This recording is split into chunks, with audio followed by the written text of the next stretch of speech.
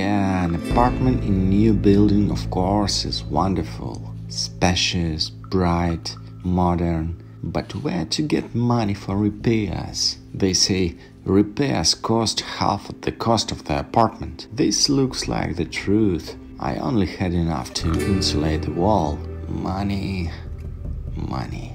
Who said that they do not rule the world? How can you do something without money? How can I buy an apartment or make repairs on it? Can I get a loan? I'm already deep in debt. Need to support a family. No, a loan is not a good idea. What to do?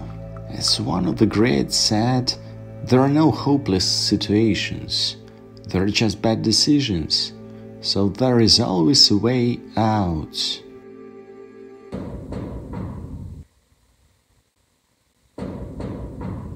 Hmm, strange. Who could it be? The delivery? But I didn't order anything.